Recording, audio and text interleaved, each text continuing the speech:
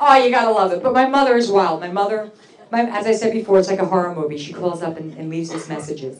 Babe, you there? Pick up. It's mommy. All right, babe. All right. Babe, are you there? It's mommy.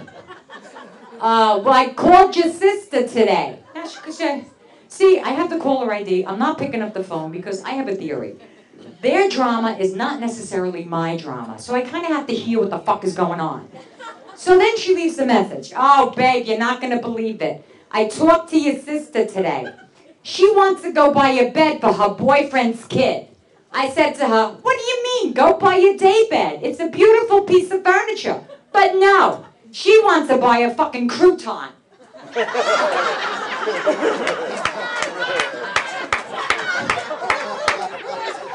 I'm like listening to this message going, A crouton? She's buying a fucking crouton! And then you call up and she's like, Where are you? I'm on my cell. Are you talking from your cellulite phone? And I'm like, Ew. Ew. So she would leave these horrible messages, right?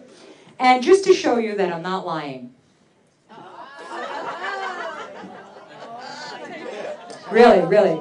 Because the last message was, your sister went to the store today. You know, that mall down in Paramus, babe? Because she went to that famous store to buy your niece some skinny clothes. I'm thinking, oh, you know the name of that store, babe. I'm like, what? You know, um, Abigail and Finich. And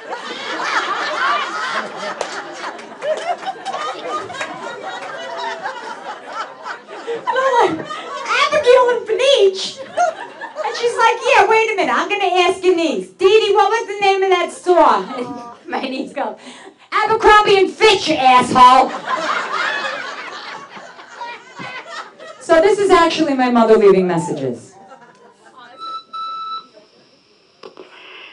Babe, hey babe.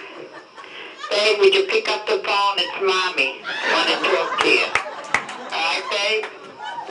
Okay, bye.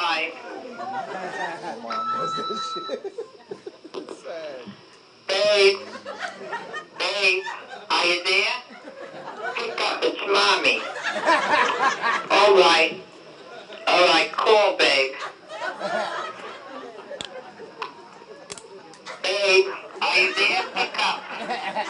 All right. Do you know where your sister is? I can't find her. Do you know where your sister is? I can't find her. My sister's fucking 58 years old. Who gives a shit?